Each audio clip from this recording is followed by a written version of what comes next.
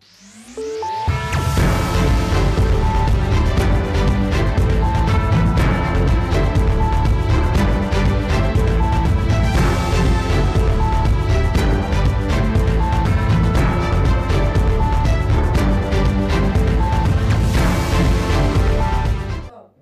السلام عليكم ورحمة الله تعالى وبركاته. مرحبا مشاهدينا الكرام في حلقة اليوم برنامج من الجزائر.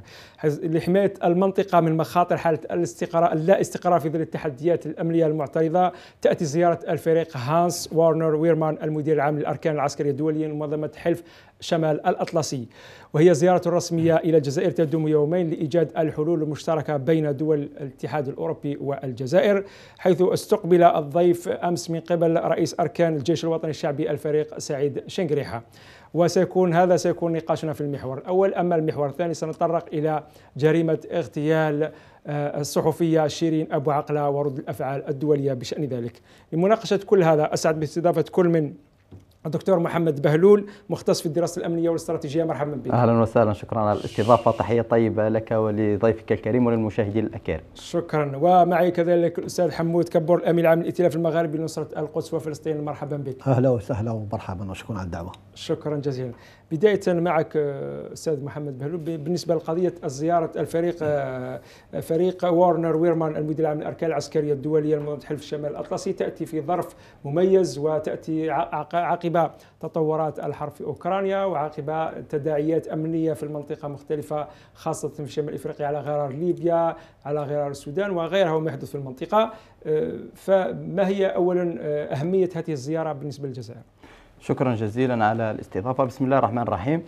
في إطار التهديدات الأمنية الجديدة التي أصبحت عابرة للحدود الدولة وأصبحت الدول عاجزة عن مواجهة هذه التهديدات بشكل منفرد وبالتالي لابد لها من مركبات أمنية تشترك في رؤية وتتوحد في رؤية مواجهة هذه التهديدات. جاءت هذه الزيارة لقائد حلف الناطو للجزائر من خلال توحيد الرؤية حول أولا التهديدات ثم بعد ذلك توحيد الرؤية حول سبل المواجهة لأنه لا يكفي فقط معرفة التهديد بل الأفضل أو الاستراتيجية الأكثر فعالية هي معرفة سبل وكيفيات مواجهة هذه التهديدات خاصة في ظل التهديدات التي أصبحت لا تماثلية وأصبحت لا تعرف حدودا وأصبحت الجريمة المنظمة. وبالتالي فالجزائر الخبرة التي تمتلكها الجزائر يعتمد عليها حلف الناطو وفي إطار الشراكة الأورو متوسطية 5 زائد 5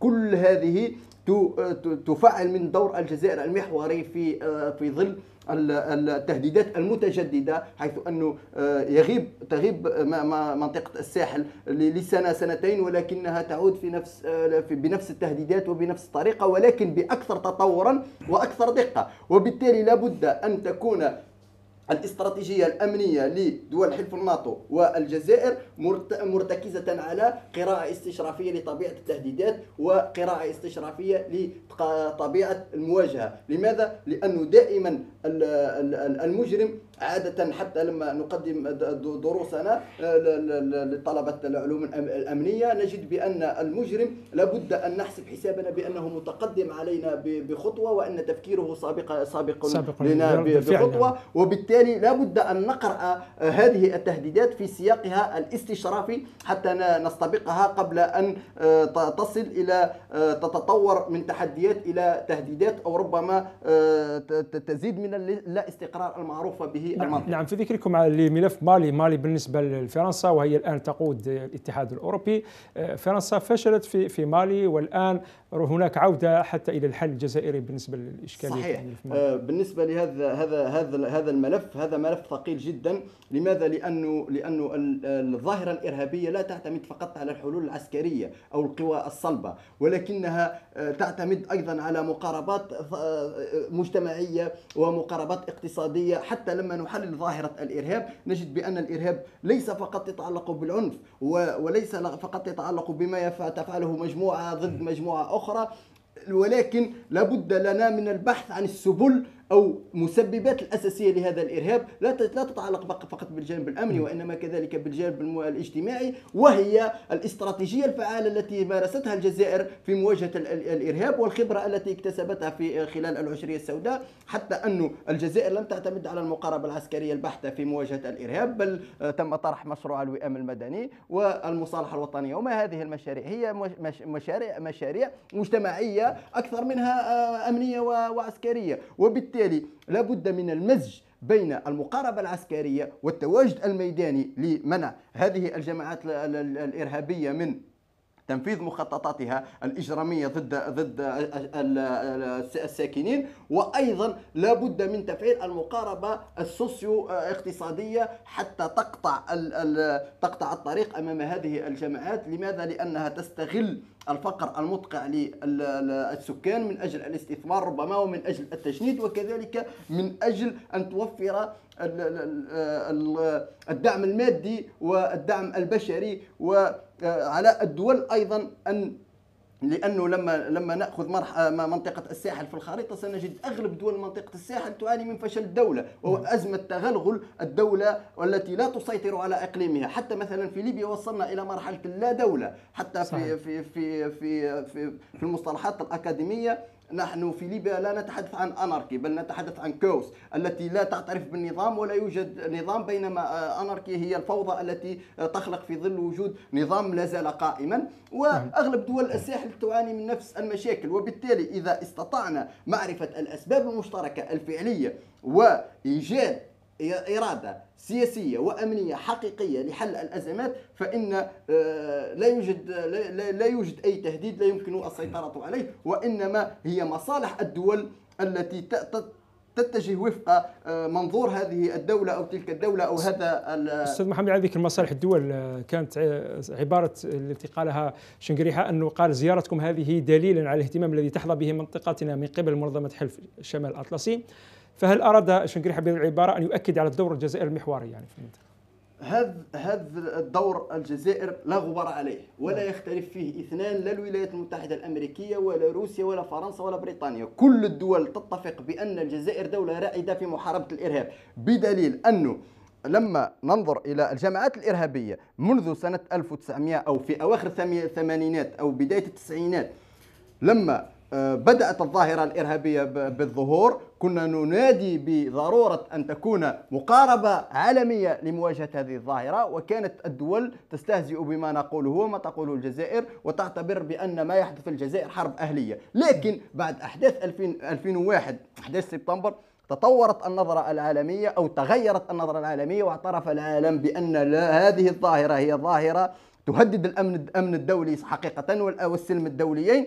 ولكن الجزائر لما آه، ننظر إلى المقاربة التي اعتمدتها الجزائر لابد على هذه الدول ستذهب هذه الدول شاءت أم أبت وتعود إلى الخبرة التي اكتسبتها الجزائر في نعم. مواجهة في مواجهة الإرهاب نقطة واحدة فقط سأشير إليها أنه كل الدول باستثناء الجزائر شهدت جماعات إرهابية متطرفة متطورة حتى لما نأخذ تنظيم الدولة كان قبله تنظيم آه، القاعدة ثم بعد ذلك تطور وأصبح تنظيم الدولة الإسلامية أكثر تطورا حتى انه الدولة الإسلامية في العراق والشام تحمل بعد جغرافي معين إلا انه بعد ذلك اتسع المجال الجغرافي لتصبح تنظيم الدولة الإسلامية فقط وبالتالي تشمل العديد من الدول. ناهيك عن بوكو حرام في منطقة الساحل. كل الدول تعاني من تهديدات إرهابية كل مرة تظهر في أكثر تنظيما أكثر تنظيما. إلا الجزائر هي الدولة الوحيدة التي قطعت دابر الإرهاب وهي اليوم تنعم بالاستقرار. وبالتالي سنعود ونكرر بأن كل الدول مجبرة على الإعتماد على الجزائر و نعم لا, لا, لا, لا لن تجد حلا إلا بالاعتماد على الجزائر والدليل على حتى أمريكا كانت يعني تقتبس من التجربة الجزائرية. شكرا نعم. دكتور محمد. بالنسبة لك آه، أستاذ كبور الفريق شنقريح أكد أن الجزائر طالما يعني دعمت مبادرات المجتمع الدولي في ظل احترام القانون الدولي والقرارات الأممية. ف آه، وما هو ما يوضح عدم الانحياز لطرف معين يعني هنا تأكيد على أن الجزائر لن تنحاز إلى طرف معين؟ بسم الله الرحمن الرحيم. آه، هو لابد أن نشير في قبل أن أجيب عن السؤال الآن الجزائر أصبحت تملك تجربة رائدة في إدارة كثير من الأزمات الدولية. من خلال الحكمه التي اكتسبتها الجزائر من خلال تجربة ثرية التي إحنا عشنا عشنا تجربة تاع تاع الإرهاب. نعم. ولازم نذكر الآن الناس بأن الجزائر تركت لوحدها تواجه أزمة الإرهاب. وبالعكس رأينا دول تكالبت على الجزائر في تلك في تلك الفترة. وحتى من الاتحاد الأوروبي. حتى من حتى من دول أوروبية. هي اللي قادت الحملة تاع من يقتل من في الجزائر. نعم. والجزائر اعتمدت على مكنونها الداخلي وخاضت التجربة لوحدها ووضعت مقاربة. الآن كل الدول الآن تبحث عن هذه المقاربة. الجزائرية. الرائدة. واستطاعت الجزائر أن تخرج من أزمة الإرهاب وهي لملمت جراحها وعبرنا عن ذلك من خلال المصالحة الوطنية التي فتحت لجميع الجزائريين من أجل أن يحتضن ال- الكل. ثم مرينا بتجربة أخرى رائدة لابد العالم يذكرها وهي تجربة الحراك المبارك. وين استطاع الجيش الجزائري أن يرافق الحراك ال- ال- الجزائري ويكون في قلب الحراك الجزائري ويعبر عن مطالب الحراك الجزائري حمى الحراك الجزائري حمى الجزائر من الانزلاق حمى الجزائر من أن تدخل في في بعضها ال- ال- البعض. ورأينا تلك الصورة الجمالية وتلك الملحمة الإبداعية التي عبر عنها الجميع بذلك الشعار الخالد المبدع جيش شعب خاوة خاوة. هذه ال- ال- المقاربة الجزائرية لا توجد في دول أخرى. نحن نملك جيش وطني شعبي هو سليل لجيش التحرير الوطني وهو جيش من قلب الشعب الجزائري. يعني الظاهرة عندما ترى الجيوش في ال- في الدول الأخرى لا يمكن لجندي بسيط أن يرتقي فيصبح قادة بخلاف الجزائر. يمكن لأي آه، جندي بسيط يتدرج في في في رتب العسكرية فيصل إلى قيادة الجيش. ورأينا في كثير من الحالات وين قادة تاع الجيش تاعنا خرجوا من من قرى ومن دشور معزولة نعم. ومن بيئة فقيرة وترقوا ووصلوا. فهذه المقاربة الجزائرية هذه الفلسفة الجزائرية هذه الروح الجزائرية هي التي يبحث عنها الآن المجتمع الدولي. يريد أن تكون الجزائر طرفا في حلحلة هذه الملفات التي تعقدت وتشابكت خيوطها ويريد أن يستفيد من الخبرة الجزائرية. ثم هناك عامل آخر مهم الآن الجيش الجزائري اكتسب خبرة يعني من خلال برامج التكوينية والتأهيلية والتدريبية ولاحظنا كيف الزيارات الميدانية المكوكية اللي قام بها آه، الفريق آه،. شنقريحة لمختلف الوحدات القتالية ومختلف النواحي العسكرية. ويشرف بنفسه على تلك الدورات و أستاذ كبر بالنسبة نعم. معذرة بالنسبة لك توافق الرؤى هل ربما حصل توافق في الرؤى؟ لما ذكرك أنه هناك تكالف في فترة التسعينيات وفترة الأمنية لكن الآن كلهم عادوا إلى التجربه الجزائريه هل هي هناك توافق في الرؤى بين الآن آه، يعني ربما الطرف الأوروبي والطرف الجزائري خاصة أنه حتى ممثل حلف الناتو أبرز دور الجزائر المحوري في الحفاظ على استباب الأمن والاستقرار في المنطقة يعني؟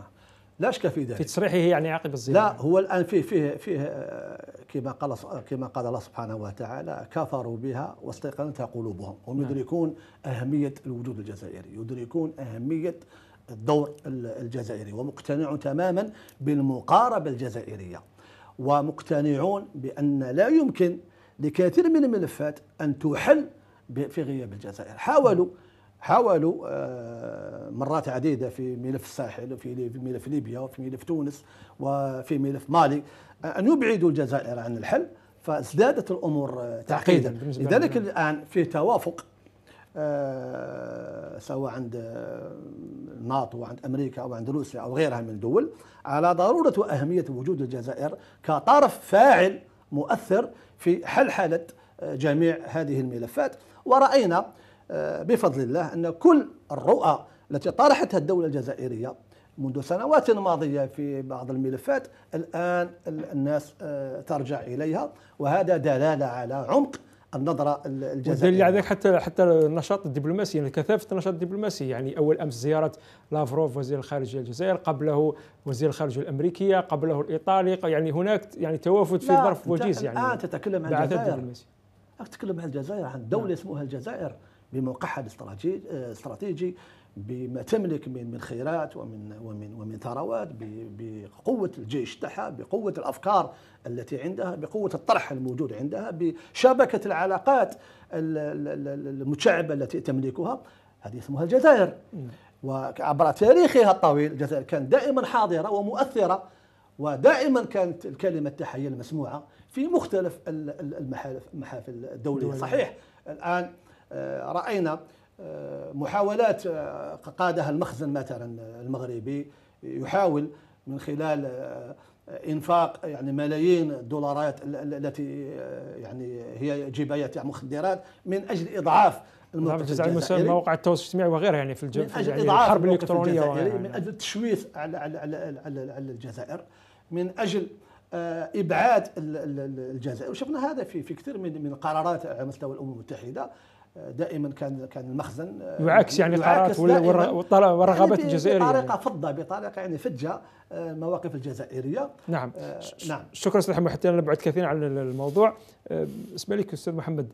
ركز أركان رئيس أركان الجيش على ضروره التفاهم المتبادل لقضايا الساعة لحصر افضل لحصر أفضل التحديات الأمنية ولعل في ذلك إشارة واضحة لتطورات الحرب في أوكرانيا وبقايا القضية قضايا يعني في أعتقد بأن الإشارة كانت أكثر إلى الأوضاع الإقليمية خاصة في ليبيا التي لا زالت لحد الآن لم تستطيع الوصول إلى انتخابات رئاسية. وكذلك الانسحاب الفرنسي الذي عوضه الانسحاب الروسي في مالي وعملية بارخان التي انتهت وبوركينا وكذلك من بوركينا فاسو.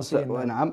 من دول الساحل بصفة عامة. كذلك المشكلة السودانية التي تؤثر لا محالة على على الأوضاع الإقليمية في الساحل والصحراء التي هي هي اليوم وحتى قضية الصحراء الغربية حتى قضية الصحراء الغربية كذلك أعتقد بأن آه، قضية الصحراء الغربية ليست بتلك قضية بتلك أممية يعني. بتلك يعني. القوة التي آه، هذه هذه منظمة عسكرية وليست منظمة نعم. أممية وبالتالي آه، لا تعنيها مسألة الصحراء صحيح. الغربية بقدر ما تعنيها التهديدات التهديدات الأمنية والنزاعات الأمنية المختلفة صحيح يعني. كيف يمكن حل هذه النزاعات وكيف يمكن التخلص من هذه التهديدات إلا أنه صحيح أن الأزمة الأوكرانية أثرت على النظام الدولي بصفة عامة ولن يعود النظام الدولي كما كان سواء بانتصار روسيا أو نعم. بهزيمتها لن يعود النظام الدولي كما كان سيتغير ستظهر قوى جديدة أو ستتعزز هيمنة القوى الليبرالية وتدحر القوى التي تدور في الفلك الروسي ما نلاحظه هو ذلك التوازن آه الذي تبينه الجزائر خاصة من الناحية الدبلوماسية ومن الناحية الأمنية حيث أنه يصعب على دولة أن أن أن تستقبل ضدين في يومين في يوم متتاليين, متتاليين آه بجهة أمنية وعسكرية وجهة دبلوماسية. دبلوماسية فهذا يصعب على الكثير من الدول. لكن و... حنكت يعني الجزائر في هذه هذه من ناحية ولكن الوزن هو المؤثر الحقيقي. لماذا؟ لأن حلف الناتو يريد أن أن يجتذب الجزائر في المس في مسألة آه، آه، النزاعات الإقليمية وربما تكون آه، مسألة أوكرانيا ولكنها ليست بتلك القوة إلا أن الزيارة الروسية هي حقيقة التي تجسد فعلا المسألة الأوكرانية لماذا؟ لأن المسألة الأوكرانية أهم شيء يلعب على المسألة الأوكرانية هو الجيوطاقة كيف نعم. يمكن أن تكرس روسيا هيمنتها على الطاقة في على أوروبا وكيف يمكن لأوروبا أن تتخلص من تلك التبعية التي تعاني منها من, من روسيا التي تستعمل ورقة الطاقة دائما في الابتزازات السياسية. دائما روسيا تهدد بغلق الغاز على على على أوروبا وهي تدرك بأن يستحيل على أوروبا الاستغناء أو تأمين بديل بديل بديل عن الغاز محمد حتى نذهب بعيدا كذلك. آه، يعني هناك لما ذكر شنقريحه سياسه الحياد في الأزمات الدولية ولا على الصعيد الدولي قال إن التعاون الجزائري يكون مع كافة الشركاء يعني ذكر كافة الشركاء ذكرك روسيا صحيح. والغرب دول الغرب في إطار مصالحها الوطنية ومبادئها الراسخه الراسخة عفوا نعم. فما هي رسالة شنقريحه هنا يعني؟ هذه رسالة واضحة إلى كل من يريد استمالة الجزائر سواء من الشرق أو من الغرب في في أو إخراجها عن مبادئها السياسية والإستراتيجية فعليه أن يعيد حساباته وهي إشارة واضحة ولا ولا ولا تحتاج إلى قراءات. الجزائر لديها خط واضح في سياستها الخارجية لا اعتداء على الدول الصديقة ولا آه، آه، ولا حلول خارج المادة 33 من ميثاق الأمم المتحدة التي في الفصل السادس التي تنص على حل النزاعات بالطرق السلمية ولا خروج عن التدخل في عدم التدخل في آه، الشؤون الداخلية للدول. وبالتالي على أي طرف يريد أن يجذب الجزائر إلى صفه أن يعيد حساباته. الجزائر تتعامل مع كل الأطراف أو تحافظ على نفس المسافة مع كل الأطراف في إطار العقلانية التي تتميز بها وفي إطار المصالح الاستراتيجية التي أصبحت اليوم آه، تمثل حقيقة آه، ضرورة بالنسبة للنظام السياسي الجزائري. وبالتالي لابد على هذه الدول أو هذه المنظمات أو مهما كان هذا الطرف أن يعيد حساباته. لن يأخذ من الجزائر سوى الخبرة في مجال مواجهة التهديدات. ولن يأخذ الطرف الآخر من الجزائر سوى أن تكون علاقة صداقة مستمرة ودائمة ربما تكون فاقد 60 سنة وبالتالي سيصعب عليه. أما أن تجذب الجزائر إلى مستنقع هي في غنى عنه فهو واهن وعليه أن يراجع حساباته وعليه أن يركز ما يحقق المصالح في إطار وين وين آه، رابح رابح نعم. أما إذا كان يريد هناك آه، ربما آه، ملفات أو أو خطط أو استراتيجيات لجذب الجزائر فلا أعتقد بأن الجزائر ستنساق وراء هذه المحاولات. محاولة نعم شكرا جزيلا. آه. بالنسبة لك أستاذ كبور آه، يعني لم لم يفوت شنقريحه على فرصة اللقاء يعني مع ممثل آه، حلف الناتو لاعرابه عن تنديد سياسة الكيل بمكيالين يعني وهي التي شاهدناها في قضية كما ذكرنا حرب في أوكرانيا الآن في الاعتداء على الإخوة الفلسطينيين. هذه السياسة أراد أن يمرر رسالة أنه الجزائر تند بهذه السياسة. صحيح وهذه الرسالة كانت واضحة وقوية من شنغريحة وهذه يعني مثلبة في النظام الدولي هذا الذي يستعمل هذا الكيل بمكيالين في وتعامل يعني المجتمع الدولي مع الشعوب المقهورة يعني خاصة. يعني رأينا بشكل مفضوح يعني ماهوش يعني بشكل مفضوح وبشكل يعني فج وبشكل عرى هذه المنظومة الدولية تدعي بالديمقراطية وبالحفاظ على الحريات وكذا لكن رأينا كيف تنحاز يعني بكل صفاقة إلى آه، قضية على حساب قضية وإلى شعب على حساب شعب وإلى آه، نصرة موضوع على حساب موضوع تقدم من تشاء تقدمه وتؤخر من تشاء تؤخره بدون معايير. يعني بعيدا عن الانسانيه كما يعني بعيد عن عن عن المعايير المتفق عليها بين الناس. آه، فالظلم الظلم سواء أصاب فلان أو علان الاعتداء اعتداء سواء أصاب علان أو فلان لكن هذا التعامل هو الذي نحن نرفضه ونريد من المجتمع الدولي أن يكون سيدا في موقفه وأن يتعامل بميزان الحق والعدل فيعطي لكل ذي حق حقه. ورأينا في موضوع أوكرانيا كيف انحاز الدول الغربية إلى إلى إلى إلى أوكرانيا وكيف فتحت الحدود لاستقبال اللاجئين الأوكرانيين بينما رأينا سابقا كيف أغلقت هذه الحدود وطرد اللاجئون ومنع اللاجئون من العبور في كثير من الحدود وابتزوا ابتزازا رخيصا لا يليق بكرامة الإنسان.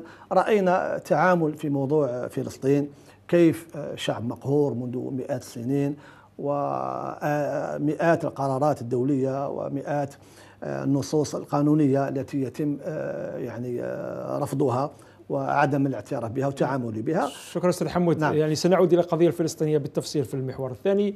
آه، بقي الوقت ربما انتهى الوقت في أقل من دقيقة أستاذ محمد. آه، يعني تعرب تعرج على هذا أكيد. الاجابه على السؤال. لأنه كانت رسالة قوية من شنقريحة أنه يمرر.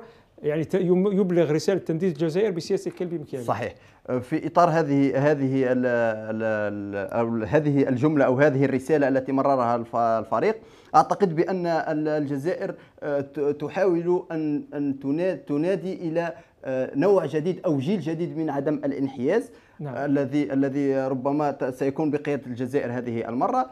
ثانيا أن الجزائر تندد ب كل الممارسات التي تخرج عن إطار القانون الدولي سواء في أوكرانيا أو في غير أوكرانيا ولكن هي هي إشارة إلى ضرورة آه، إصلاح هيئة الأمم المتحدة التي تعاني من تعاني من العنصرية في في الفيتو، تعاني من العنصرية في القرارات، تعاني في من العنصرية ولا التوازن في في حتى في طريقة آه، إدارتها للأزمات الدولية. ولكن إشارة ربما تكون أن على الجزائر أن تستثمر في هذه البحبوحة في في قطاع في أسعار في أسعار النفط والغاز ولكن أن تستثمر في القطاعات الأكثر إنتاجية على غرار الفلاحة لماذا؟ لأنه لو نلاحظ الحرب الأوكرانية الروسية أثرت مباشرة على سعر شيئين هو النفط والغاز وأسعار المواد الغذائية التي أصبحت تشهد ندرة على مستوى العالم. والجزائر آه، لديها ما, ما يؤهلها إلى أن تكون آه، قوة زراعية آه، بامتياز. ربما في عشر سنوات قد, قد تكون الجزائر قادرة على التصدير نحو هذه الدول. وبالتالي لابد من تكاتف الجهود جيشا وشعبا وحكومة للوصول بالجزائر إلى بر الأمان لأن النظام الدولي حقيقة حقيقة يشهد تغيرات وربما قد تكون تحولات وقد تؤثر على استقرار كل الدول دون استثناء. نعم شكرا أستاذ محمد. فاصل مشاهدينا الكرام مع النقاش في المحور الثاني.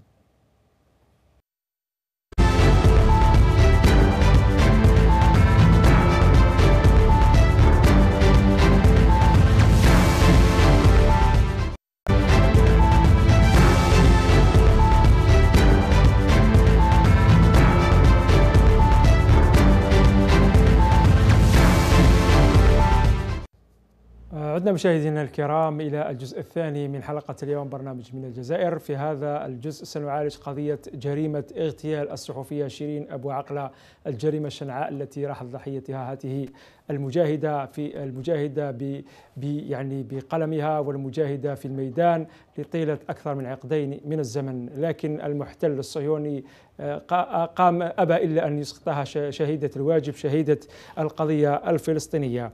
هي جريمة جاءت بها ردود جاء أعقبتها عفوا ردود أفعال دولية ومحلية ردود يعني كثيرة وتطالب بضرورة إحالة قضية اغتيال شيرين إلى محكمة الجنايات الدولية.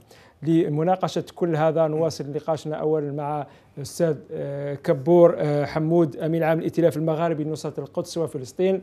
وكذا الدكتور محمد بهلول مختص في الدراسات الأمنية والاستراتيجية. وما يلتحق معنا عبر تقنية سكايب من غزة من فلسطين أستاذ عامر أبو شباب كاتب وصحفي فلسطيني. مرحبا بك. مرحبا بك وبالمشاهدين وبالسادة في الاستوديو. شكرا على تلبية الدعوة. نبدأ معك أستاذ عامر. بالنسبة ل اولا قبل البداية معك نشاهد هذا الفيديو يعطينا المخرج هذا الفيديو لجنازة بداية شيع الشهيدة شهيدة القضية الفلسطينية شيرين أبو عقله ونعود إلى النقاش.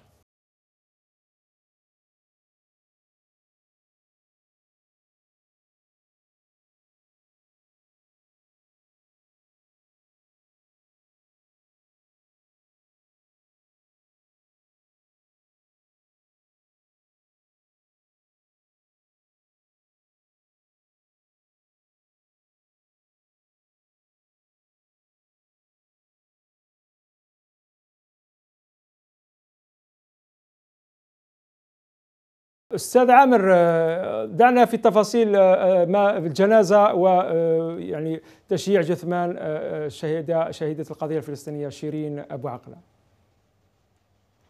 بالفعل يعني ليس الأسرة الصحفية فقط بل الشعب الفلسطيني يشعر بصدمة وفاجعة إنسانية كبيرة بسبب هذه الجريمة مكتملة الأركان. وسنتحدث لاحقا في التفاصيل. اليوم كان يوم فلسطيني. اليوم شيرين كانت أيقونة فلسطين الكل الفلسطيني آه، سياسيا وبكافة ألوان الطيف السياسي والاجتماعي وحتى الديني كان آه، يقف وقفة إجلال وإكبار لهذه الصحفية التي على مدار ربع قرن من الزمن آه، نقلت الحقيقة من أرض فلسطين إلى العالم ونقلت الرواية الفلسطينية بكل كفاءة وبكل مهنية وبكل اقتدار وكانت هذه النتيجة بالجريمة الغادرة وعملية الاغتيال حسب كل التحقيق الأول في هذه الجريمة لهذا الصوت الفلسطيني لهذه الصحفية الشجاعة التي لم تتوانى أن تكون في كل ميادين الاشتباك مع الاحتلال الإسرائيلي. وأخيرا قرر الاحتلال الإسرائيلي عبر وحدات القناصة اغتيال هذا الصوت الفلسطيني الذي اسمع العالم الرواية الفلسطينية والحقيقة الفلسطينية وعرى جيش الاحتلال الإسرائيلي الذي يمارس كل أشكال البطش. هذه الحادثة سلطت الضوء على نوع من أنواع الجريمة كانت ترتكب بحق الشباب والأطفال والشيوخ على الحواجز وباتجاه كل أبناء شعبنا لكن هذه القضية كانت هي قمة العدوان الإسرائيلي على الشعب الفلسطيني، اليوم الشعب الفلسطيني في كل الاتجاهات السياسية يقف وقفه احترام وتقدير ووفاء لابنته البارة شيرين أبو عقل. بالنسبة للرواية الآن الرواية الإسرائيلية التي تحاول التنصل من جريمة الاغتيال هل يعني ثابت وكل الأمر يعني ثبت أن الجريمة تمت من طرف قناص قناص إسرائيلي بعد حادثة الاستشهاد التي كانت أمام كامل العالم وراقبها العالم بكل مرارة وبكل حزن. تم نقل جثمان الشهيدة إلى قسم الطبي الفلسطيني وقام وتم إخراج الرصاصة وهي رصاصة من النوع المتفجر ليست لدى الأجهزة الأمنية الفلسطينية وليست لدى المقاومين الفلسطينيين وهي رصاصة إسرائيلية بامتياز. إسرائيل تريد استدراج السلطة الفلسطينية من أجل تقديم هذه الرصاصة لكن لا يجوز وهذا الرد الرسمي الفلسطيني من قبل الرئيس وكل جهات الاختصاص بأن إسرائيل طرف مذنب ولا يجوز أن يكون جزء من التحقيق، التحقيق الفلسطيني اولا ثم التحقيق عالمي عبر محكمة الجنايات الدولية للإنصاف الحقيقة. والجميع يدرك لولا إدراك العالم والتقارير الأمنية والسياسية تخرج من كل السفارات والملحقات العسكرية وأجهزة الأمن في العالم إلى كل الدول وكل الرؤساء الذين أدانوا هذه الجريمة بأشد العبارات. لا يستطيع العالم اتخاذ هذا الموقف الحازم وهذه الإدانة الواسعة من كل العالم بلا استثناء. حتى الخارجية الأمريكية تؤكد أن إسرائيل هي المتورطة في ذلك بلا أدنى شك وإنما إسرائيل تريد يعني نقلنا إلى مربعات التفاوض ومربعات كسر صورة المشهد الذي يؤكد إجرام الاحتلال. هذا يتم بسبب الموقف الفلسطيني الموحد والعالم الذي رأى هذه الجريمة، اذا هي جريمة إسرائيلية، الآن المنتظر هو الذهاب إلى محاكمة سريعة لجيش الاحتلال وقادته الذين أعطوا هذه الأوامر بقتل الصحفية وغيرها من الابرياء الفلسطينيين. نعم أستاذ عامر سأعود إلى قضية المحاكمة سأعود معك لاحقا. أستاذ حمود بالنسبة الآن الكيان الصهيوني كان روايته الأولى أنه هذا الرصاص رصاص فلسطيني وهناك تبادل إطلاق النار، الآن بعد ثبات يعني يعني انه الرصاصه رصاصه إسرائيلية هو يحاول كل مرة يخلق روايات يعني وهذا معروف على الكيان الصهيوني أنه في كل مرة يختلق رواية وراء أخرى يعني. نحن نتحدث عن عدو صهيوني عنصري دموي يقتل بدم بارد هذه مش المرة الأولى يعني نحن نحصي منذ عام 2000 إلى الآن يعني استشهاد 46 صحفي. نعم. تم قنصهم. نعم. بشكل مباشر يعني.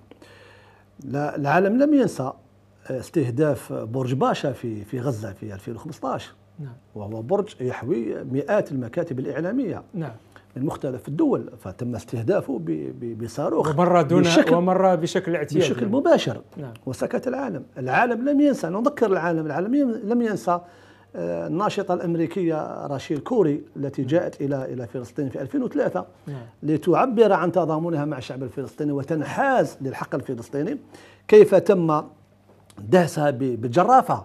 والعالم ينظر أمام نعم. شاشات التلفزيون ثم شكلت لجنة التحقيق وانتهى الموضوع ألم ينسى ألم ينسى العالم استهداف الطفل محمد الدرة نعم. في 2000 في سبتمبر 2000 أمام كل مباشره يعني. أمام كل كاميرات العالم والطفل صغير يحتمي بظهر. والده ويرفع يده الفارغة لا تحمل سلاحا ولا حجرا ولا شيء. ويقول طفل طفل. ومع ذلك تم استهدافه بشكل مباشر من طرف قناص صهيوني أمام مرأى ومسمع العالم. نحن نتحدث هذه هذه ليست المرة الأولى التي يستهدف فيها هذا هذا الكيان الصحفي. أعزل يحمل خودته ويتحرك بإشارة وبتصريح رسمي وينقل الحقائق. فأنا اتعجب الآن الناس يعني تتأسف. لا هذا طبيعة هذا الكيان هذا هو كيان عنصري دموي. الهدف من من من هذا الاستهداف هو التغطية على ما يتم نقله من خلال هؤلاء الصحفيين ما يقع من جرائم في حق الشعب الفلسطيني. الهدف هذا هو هو محاولة إبعاد الكاميرا أن تنقل ما يقع حقيقة في ال في ال كانت أكثر جرأة يعني في, في الميدان. يعني. وأن تتكلم على شيرين الذي تملك من الخبرة 20 سنة ويتنقل نعم. في مختلف ال- ال- الأحياء والأزقة تاع القدس القديمة وتنقل المشاهد الحية يعني بصدق وباحترافية وبموضوعية عالية. فاذا الاهت- الاهتداف كان مقصود. ولا ننتظر أنا عندي شخص- شخصيا لا أنتظر شيئا من هذه لجنه التحقيق. فسيتم قبر الموضوع. قبل قبل قبل آه، قبل بداية التحقيق فيه. المهم العالم الآن وقف على حقيقة هذا الكيان البغيض. ووقف على دموية هذا الكيان ال- البغيض لم يصل منه لا الصحفي ولا الشيخ الكبير ولا المرأة المسنة ولا الطفل الصغير. ورأينا هذا في مشاهد يومية يعيشها الشعب ال- الفلسطيني. شكرا أستاذ حمود. بالنسبة لك أستاذ محمد أنت بصفتك خبير في الدراسات الأمنية والاستراتيجية. لماذا هذا الاستهداف بالضبط؟ للكيان الصهيوني في كما ذكرنا استهداف قناصين للصحفيين وكل من ربما يزعج هذا الكيان. سأكتفي بالتحليل الأمني حتى لا أدخل في أه، تحليلات الأساتذة ويجدون نعم. ما يقولون في هذا الموضوع بالنسبة بالنسبة لي أه، قامت قامت إحدى الصحف الصهيونية ها- هارست بإجراء تحقيق أفاد بأن ال- الجهة التي المسؤولة عن إطلاق الني- النيران تجاه الصحفية المغدورة شيرين أبو عاقلة هي آه، قوات النخبة الدفدفان وهي تعتبر من القوات الخاصة في في الكيان الصهيوني وتعتبر آه، قو- قوات قوات نخبة لا لا تخرج إلا في آه، بين قوسين في المهمات القذرة بالرغم من أن كل مهماتهم قذرة. ثاني نقطة هي أن هذه هذه الصحفية المغدورة تم استهدافها بسلاح سلاح ناري آه، أو بندقيه بندقية أم 16 وهي بندقية أمريكية معروفة تطلق تطلق رصاصا آه، 5.56 ملم آه، و- وهي من اشهر أشهر ال- ال- ال- ال- البندقيات في العالم. استهدفت مباشرة منطقة الرأس وهذه الصحفية كانت ترتدي ال- الخوذة، تحت الخوذ- الخوذة. يعني الخوذة وهذا. دليل على آه، قوة قوة آه، البندقية التي اخترقت الخوذة وكانت تهتدي ترتدي كذلك السترة وبالتالي ما نستنتجه وأصيب زميل لها وفي الفيديو المتداول كانت إحدى الصحفيات زميلتهم تحتمي تحت تلك الشجرة تحت تحت شجرة وذلك الشاب الشجاع الذي قام بإنقاذ إنقاذ تلك الصحفية وتم وقام بسحب آه، الصحفية ومع ذلك بقيت قوة الاحتلال آه، تستهدفه ب- آه، بالرصاص إلا أنه لم يصب. وبالتالي ماذا نستنتج من هذه الحادثة؟ أولا بأن هذه ال- ال- القوات كانت من أجل أداء مهمة آه، قد تكون استهداف الصحفيين بصفة خاصة. لأ- لماذا؟ لأنه أصيب صحفي آه، قتلت صحفية وأصيب وأصيب آخر في كتفه وكانت أخرى مستهدفة. و- وكله من قناة الجزيرة. هذه النقطة الأولى. ثاني هناك من مواقع أخرى يعني إيه، يعني ال- ال- ال- الأشخاص التي تم تداولهم في الفيديو. نعم. آه ثاني نقطة هي أن آه آه هذه ال- القوات هي آه مهمتها القتل المباشر لأنه من المعتاد أن تكون القوات مجهزة ب آه آه، كرتوش بلون ال- ال- الرصاص الغير- غير الرصاص. المطاطي مطاطي،. آه، ثم بعد ذلك أن هذه القوات كانت مستهدفة الصحفيين بصفة خاصة لأن الصحفية لم تكن تبعد عنهم سوى ب 150 متر تقريبا وبالتالي وفي مرأى في مرمى في مرمى النيران وفي مرأى أعينهم. يعني يسهل عليهم تمييزها من آه، من أشخاص آخرين. آخرين، ثم بعد ذلك خلص آه، حتى السترة كانت بشكل كتابة صريحة. بريس يعني, بريس يعني واضحة. هذه واضحة يرتديها الصحفي ورفق الخوذة حتى يميز عن آه، في الحروب آه، حتى يميز عن آه، الأشخاص ولكن الرواية الأولى للكيان الصهيوني قالوا حتى الصحفي الذي يحمل السلاح هو مستهدف ولكن صحيح. أي صحفي الر- يحمل الرواية السلاح؟ الرواية الصهيونية كما هو معتاد هم آه، معتادون على الكذب حتى على التاريخ. نعم. فما بالك بحادثة آه، يمكن اعتبارها بأنها ستنتهي في ربما في أسبوع أو في أقل من أسبوع. ثاني حاجة أن آه، هذه الرواية غيرت لأكثر من أربع مرات. صحيح. وبالتالي هو هذا يدل على اضطراب. الحكومة الإسرائيلية والجيش ال- آه، الصهيوني الذي يمارس آه، يمارس أبشع الطرق. ثم أن آه، هذه هذه الحادثة هي توجيه لكاميرات العالم عن حوادث أكثر بشاعه ربما و... في, في, في أوكرانيا وغيرها يعني توجيه الأنظار عن الحرب ما يصير في أوكرانيا. في في فلسطين في حد ذاتها. وحتى فلسطين في حد ذاتها ماذا يحدث في المسجد الأقصى. في المسجد الأقصى؟ اين أين يداسون بالأقدام على وجوههم؟ وأين صح. يربطون بتلك الأشرطة من المطاط. وكيف ينتهكون حرمات المسجد الأقصى؟ وكم من رضيع يقتل؟ وكم من مبنى يهدم ويدك على سكانه. هذه هذه الحادثة ما هي إلا آه، صورة من صور الاحتلال الأبشع على وجه الأرض في القرن الواحد والعشرين والألفية الثالثة. وأختم بهذه النقطة أنه أنا في قناعتي الشخصية بأن كل الاستعمارات ستصفى يوما ما لأن اللعبة مع الاستعمار هي لعبة صفرية. سيكون أحدهم خاسرا في يوم من الأيام وأؤمن تمام الإيمان بأنها كما استقلت الجزائر من الاستدمار الغاشم ستستقل في يوم من الأيام آه، فلسطين بشيرين أو بغير شيرين أو ب آه، لأنه لو تشاهد الفيديو شاب في مقتبل العمر رغم أنها جثة هامدة ملقاه على الشارع ولكنه تصدى للرصاص, للرصاص وسحبها. بدون ستره واقيه وبدون وبالتالي هذه الأرض المصرية بدماء الشهداء ستظل تنجب الأبطال وستظل تنجب الشهداء إلى أن آه، إما الاستقلال أو يرث الله أكيد. وهو أسد من أسود الشهداء. أعود إلى أستاذ عامر عبر سكايب.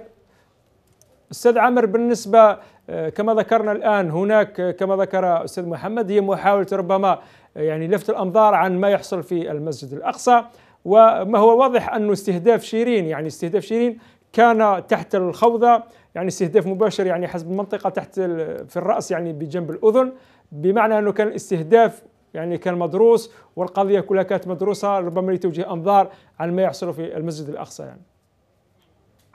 يعني أنا بداية أقدر يعني هذا الرأي لكن إذا رفعنا يعني مستوى النظر إلى الأمر نعم. هذا اعتداء يأتي في سياق سلسلة الاعتداءات الإسرائيلية. الاحتلال آه، كعملية هي عملية متواصلة بأشكالها الكاملة سواء الاعتداء الجسدي أو الاعتداء على الأرض أو الاعتداء على الاقتصاد أو المكونات أو الموارد.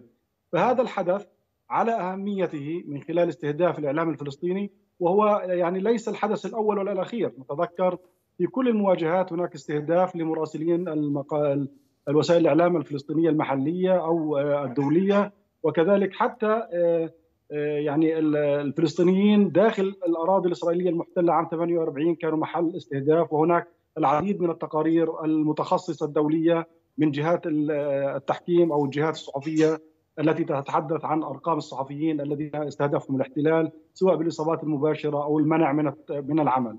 اذا هذا الحدث صحيح قد يكون مقصود لكن لا يك... لا يمكن فصله عن سياق الاعتداءات الإسرائيلية. هناك اعتداءات دينية ما تم في القدس هناك اعتداءات بمعنى جرائم من خلال ما جرى في الحرب على قطاع غزة واستهداف مقرات كبريات وسائل الإعلام الدولية آه، التي يعني أثبتت كل التقارير أنها لم تكن تضم مراكز أو مواقع للمقاومين كما حدث مع برج الجزيرة المقر الذي كان فيه الجزيرة في الحرب الماضية على قطاع غزة استهداف زملاء صحفيين من خلال الإصابة المباشرة في أعينهم. كذلك حرق الأطفال كذلك اعتقال الأطفال. لأول مرة يشهد هذا العالم جيش مجرر بالسلاح ووحدات خاصة تقوم باعتقال الأطفال من سن 10 إلى سن 14 عام. إصابة النساء على الحواجز. هذا حدث وإن كان هو الأبرز والأخطر. والذي يعني يعني يركز على صورة المشهد الحقيقية إلا أنه يأتي في سياق مجموعه اعتداءات إسرائيلية. وأنا لا أذهب يعني للرأي الذي يقول بأن العالم لا يسمع.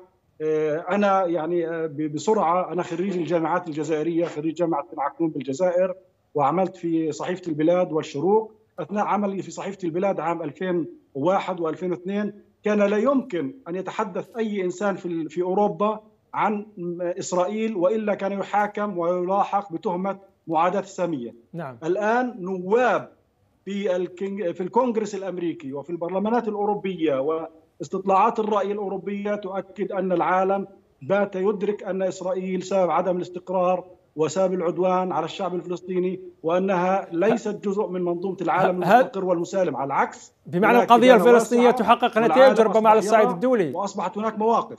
نعم. نعم. بمعنى هل تحقق القضية الفلسطينية هناك تقدما في في على الصعيد الدولي بالنسبة لك أستاذ عامر؟ هناك تحقق بالتراكم يعني الحقوق لا تؤخذ مرة واحدة وإنما بالتراكم في عدة مجالات نحن على المجال يعني هذه الصورة الإعلامية أصبح العالم يرى بشكل واضح مدى حضارية الإعلام الفلسطيني والإنسان الفلسطيني فيما آه، يتحول آه، المستوطنين إلى غلاة وأصبح العالم يدرك يعني لماذا سبب هذا هذه الصدمات أو هذا القتل هو الاحتلال يعني آه، هل بنظرك أستاذ عامر هل بنظرك سنستطيع المضي نحو أستاذ عامر نعم. بنظرك هل نستطيع المضي الآن نحو قضية آه، محكمة الجناية الدولية ونطالب بإحالة الملف مقتل شيرين؟ نحن يعني نحن الآن في سياق العمل الشعب نعم. الفلسطيني ومؤسساته الحقوقية الرسمية وغير الرسمية من منظمات المجتمع المدني تعمل منذ سنوات لكن آه، بشكل سريع هذه القضايا في المحاكم الدولية لها سلسلة إجراءات قضائية من حيث الثبوت والأدلة والإجراءات تأخذ مدى زمني أطول من القضايا في المحاكم والمحلات الهيئيه والهيئات المحلية الوطنية لكن, لكن كل المؤسسات نعم. الفلسطينية قدمت الأدلة وهذه القضية أصبحت الآن بعد توقيع السلطة الفلسطينية على اتفاقية روما أصبحت الآن على طاولة العالم هي ومجموعة من القضايا سواء الاستيطان وتجاوز لكن لكن معذرة أستاذ عامر لكن بالنسبة للسلطة الفلسطينية لماذا لم تعلن مباشرة نعم. إحالة الملف على الجنايات الدولية دون انتظار إذن من أحد يعني؟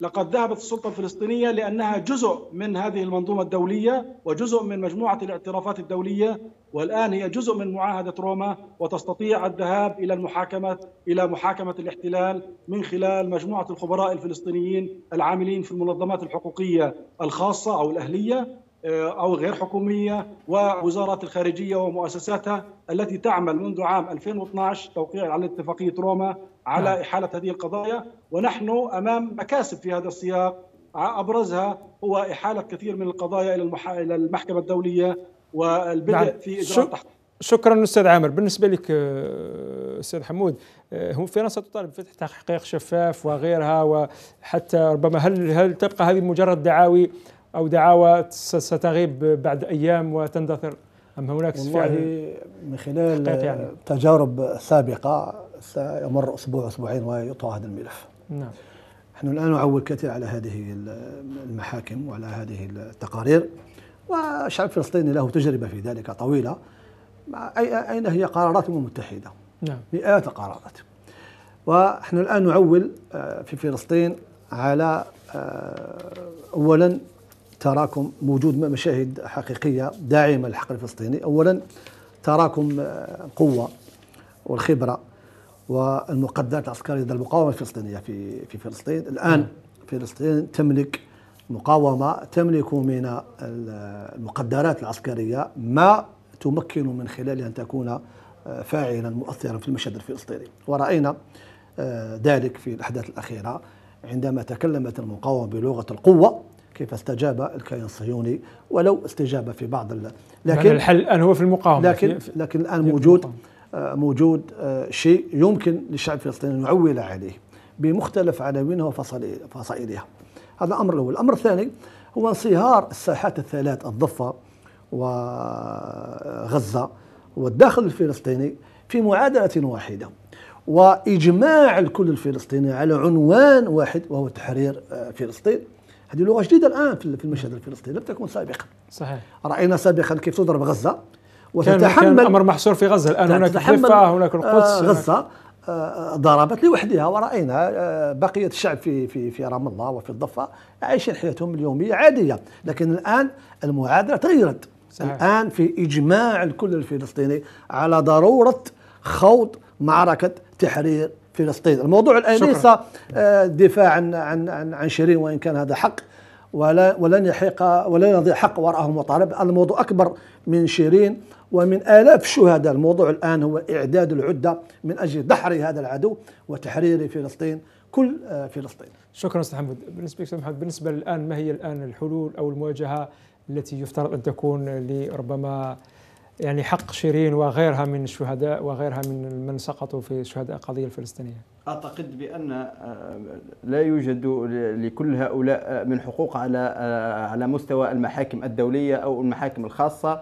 حتى ولو تم ستكون تحقيق أو الوصول إلى نتائج ستكون هذه النتائج ستفضي إلى محاسبة جندي أو ربما جنديين على أقصى تقدير بسنة أو بسنتين سجن ربما قد تكون غير نافذة. وهذه هي ثمن هو رئيس الحكومة البارح كان سبق الأحداث وقال نحن مط... نحمي جنودنا يعني. أكيد أكيد يعني أكيد أكيد. يعني هذا هذا متوقع. ولكن ما ما يجب فعله على الميدان. أعتقد بأن القضية الفلسطينية لا زالت تأخذ فترا فترة أطول لكي تنضج فعلا. ثانيا أن الأطراف الداعمة للقضيه الفلسطينية تتداعى يوما بعد يوم وأصبحت أغلب أغلب أغلب هذه آه، الأطراف ضعيفة ربما لم يبقى في صف الفلسطينيين سوى الجزائر وبعض الجمعيات هنا وهناك المتناثرة إلا انه ما أتوقعه بأن هذا التغير أو هذا التحول الذي أصبح النظام الدولي اليوم يعرفه ربما قد يؤثر على مسار القضية الفلسطينية. لماذا؟ لأنه حتى الجزائر سنة 1954 لما أعلن آه، أعلن جدودنا وآباؤنا آه، سواء مجاهدين أو شهداء الأبرار أعلنوا القتال ضد ضد المستدمر الغاشم. كانت فرنسا من أعتى القوى الإمبريالية ومن أعتى الدول الاستعمارية في في تلك الفترة. وكانت منتصرة خارجة من حرب عالمية ثانية منتصرة فيها. ورغم ذلك استطاع جدودنا آه، حتى كانوا يضحكوا يقولوا لهم بالعربية بالدارجه هذه نقولها يقولوا كيفاش واحد بحجرة راح يخرج واحد بدبابة. نعم, نعم. كيف خرج ذلك آه، نعم. المستدمر نعم. الغاشم من الجزائر؟ سيخرج ذلك المستدمر الغاشم من أكيد. فلسطين أكيد. بحجر فلسطين. أو نعم. آه صاروخ كاتيوش. شكرا أستاذ محمد. آه، أستاذ عامر الوقت انتهى لكن في عشر ثواني أو أقل ربما أعطيك كلمة مختصرة جدا يعني. يعني آه، بداية الاشتباك مع هذا الاحتلال على كل الجبهات الإعلامية والقانونية وعلى مستوى الاقتصاد حفر بئر في قرية فلسطينية هو تحدي لهذا الاحتلال آه، حتى المقاومة المسلحة وفي كل المجالات والانفكاك الاقتصادي عن هذا الاحتلال نحن نعم. نعمل بالتراكم لصالح استقلال شعبنا وهذا هدف آه، نراه منارة من خلال تجربة الجزائر أخيرا أقول أن تعويلنا أيضا على الدبلوماسية الجزائرية كبيرة بشكل كبير لمساندة آه، التجربة الجزائرية الدبلوماسية والحقوقية. نعم. يمكن أن تساعدنا كثيرا. أخيرا تعويلنا الكبير على جهود الجزائر في إتمام المصالحة الفلسطينية لتوحيد الصف الفلسطيني وهذا لا يمكن إلا الشرف أن يتم إلا في الجزائر أرض الشهداء. نعم توحيد الفصائل والقمة المرتقبة في نوفمبر غرة نوفمبر المقبل إن شاء الله بالجزائر. القمة التي تكون قمة عربية فلسطينية 100% بإذن الله تعالى. أستاذ عامر أبو شباب كاتب وصحفي فلسطيني شكرا على أنك كنت معنا في هذه الحلقة. أستاذ محمد بهلول مختص في الدراسات الأمنية والاستراتيجية. والعفو والأستاذ حمود كبور الأمين العام للائتلاف المغاربي لنصرة القدس وفلسطين. شكرا, شكرا جزيلا لكم. أنتم مشاهدينا الكرام شكرا على حسن المتابعة وإلى موعد لاحق دمتم في رعايته الله وحفظه. عفوا وإلى إلى الملتقى. السلام عليكم ورحمة الله تعالى وبركاته.